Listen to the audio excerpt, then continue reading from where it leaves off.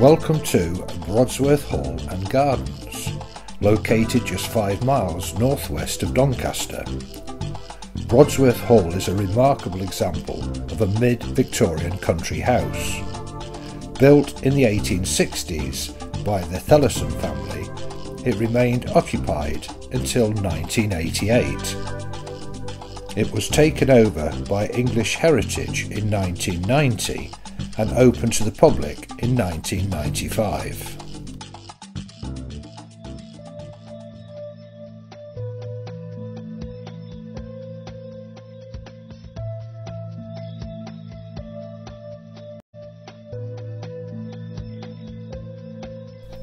The magnificent gardens have been restored by a dedicated team of gardeners and volunteers to capture the original spirit of the gardens as they would have appeared in the 1860s.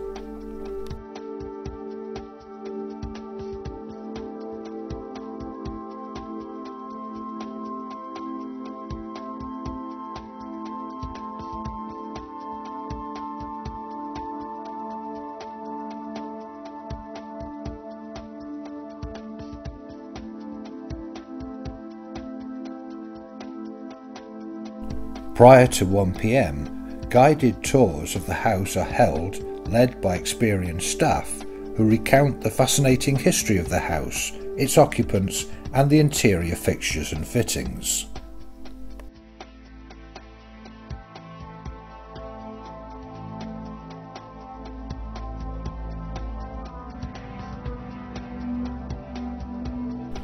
From 1pm onwards, you're free to experience the house for yourself, accessing rooms both on the ground and first floors.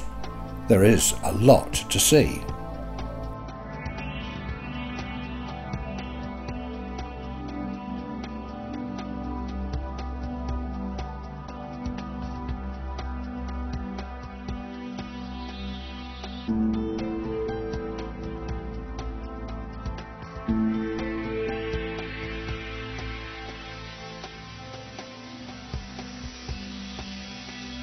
The interior of Brodsworth Hall has not been restored as such, but gently conserved to reflect the passage of time right up until its final days of occupancy.